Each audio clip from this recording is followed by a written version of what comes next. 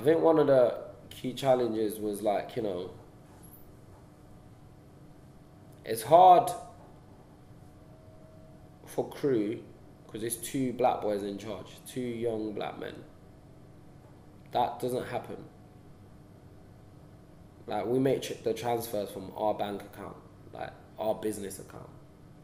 That never happens. There's no go between. Like what we're doing, no one's ever done it. Like film wise, like we are like there's no secret Oyibo guy somewhere. If you don't know what Oyibo means, that's you in it. but but there's no secret Oyibo guy somewhere. Like you know, it's two black guys like you know, really creating the, the film and creating the platform, and so that was difficult for people to digest at times. When you're being found in situations like this, probably. No, just like in general. Like remember, the majority of my crew like is white, and like they just So they look, they look for someone else, Yeah, like, I, I was making a joke on set saying one next film I do, I'm gonna hire a white guy to pretend to be my boss. Like one of my brethren, I'm gonna tell him to come on set and say like he's the boss and really hear what they've got to say, because just for jokes, just to see what what they say to him. But um, but yeah. So for me, I think that's breaking new ground is hard. I think um, working with two companies that don't normally work together, that I've never worked together before, I think that's difficult. So you've got Island Records and then you've got Vertigo. That's like they they've got two they've got two different ways of doing things, and they they um bringing them trying to marry those two things and trying to get them together is difficult.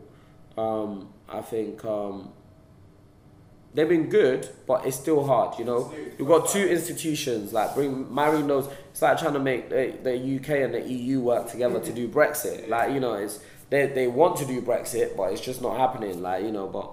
Uh, it's not even as bad as Brexit. Shit example. Sorry, no, it's not as bad. Uh, before I get kicked out of the building, but but you know, bringing two companies together is difficult. Staying across it so that things don't slip through, and then you've got um, you've got the element of um, cost wise, it's fine. You know, it, it comes with the same stresses that you get with anything when you're working with talent. Talent's talent. Talent's a bit mad sometimes. I'm talent. You know, so I'm empathetic. Sometimes I've I've got a crazy streak where I'm like switching at everyone. Like you know, talent's talent, innit? Talent always have problems.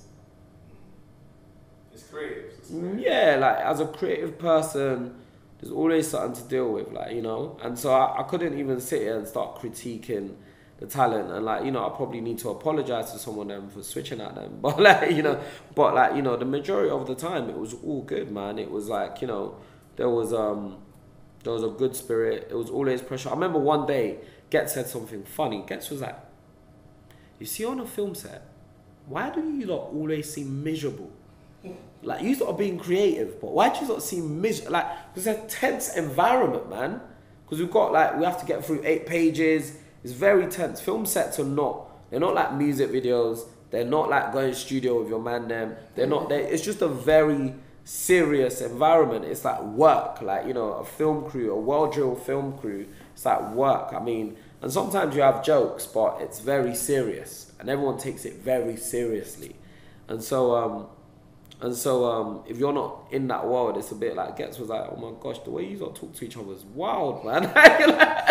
it's wild. Like, why don't you lot smile? What's wrong with you like that? Do you know what I mean? So, so it's um, I would say it's uh, in that ev- environment, it's very tense. But at the same time, when you have like, you know, we we shot a scene in Bristol, one of the key scenes in the film, and had about we had about you know, we had about I'd say like 30 guys from London in that scene, and everyone was sitting in the holding room cracking joke, and everyone's sharing stories. Their different different stories, like you know, Fekky, Ashley Chin, um, Ghetts, everyone. Um, there was tons. Ma- Maxwell D, like you know, everyone's just in this room just cracking joke and sharing stories from back in the day and all of that. When you watch that, you think actually it's a beautiful thing. Like we're bringing brothers from that will probably would never really be in these rooms together together. I think that that was really nice. But I think the challenge is all it, it's the normal. Sometimes people are late. Sometimes, you know, um,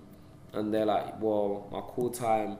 You're calling me to come in for makeup an hour before, but I don't need makeup. No, we'll get you to be there so that you know you're ready. you're ready to go when we're ready to go, not like to come when we're ready to go, because then you're slowing us down, you're stopping us. And so, like, it's just teaching, like, you know, set etiquette to people, and, like, you know, not talking in between takes and all of that stuff. But, like, so I've got nothing bad to say about the cast because they've been really behind us, man. Remember, we started the intent. And again, as I said, Ghetts was behind that because he watched it and he liked it and he made a song for it off the back of that. So, like, the majority of these people, they've been behind us from when it was just a man them's thing.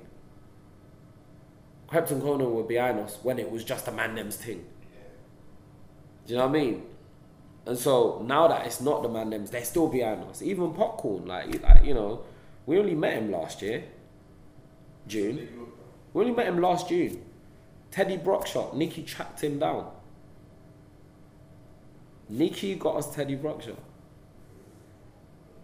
Teddy Bruckshot's not been in a film what Ox like Louis Rankin. He's not been in a film since. I don't know what his last film was, but like obviously we know him from Belly and we know him from um from um Shottas. No, Ghetts said I remember watching you when I was in jail.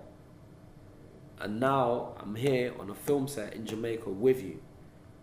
In a film that I'm playing the lead in. You know like to be part of that journey, to be part of that full circle, that's a big transition, man. Look how Ghetts is like, you know, being able to like go from a guy watching someone in jail to like playing the lead in a film that the guy's in. Like it's insane. Like, you know, to be part of that journey is a beautiful thing. I mean going to Jamaica, it's easier to shoot in Jamaica.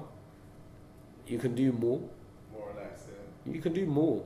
You can do more in Jamaica. You can have you can lock off a highway and shoot there. Like you can you can do whatever you want in it. Like, you know, you you as long as you like you know you got money and you pay a little bit you you're, you're able to pay some money to people like um, and you have the right connections we had good connections out there man we had people that helped us a lot like Carlene T like people like that if it wasn't for them like even Minnie like those guys really patterned Jamaica for us if it wasn't for them like you know it wouldn't have been possible and they helped us out with getting Poppy involved and all of that as well so I mean it was Jamaica was was difficult, but it was easy at the same time because you could do more.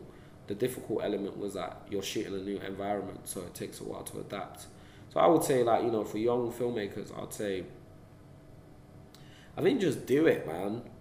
Don't wait for permission. Just do what you want to do. Like because we didn't. I I made it's a lot of like you know we decided. I took me eighteen months to raise the money to make my first film, and I just kept going and then we had to go to our brethren to get movie for our second to get because our first film wasn't successful. We had to go to our brethren to get money to make our second film and persuade them to believe in us, and they did, and we repay, we're, we're repaying them even still now.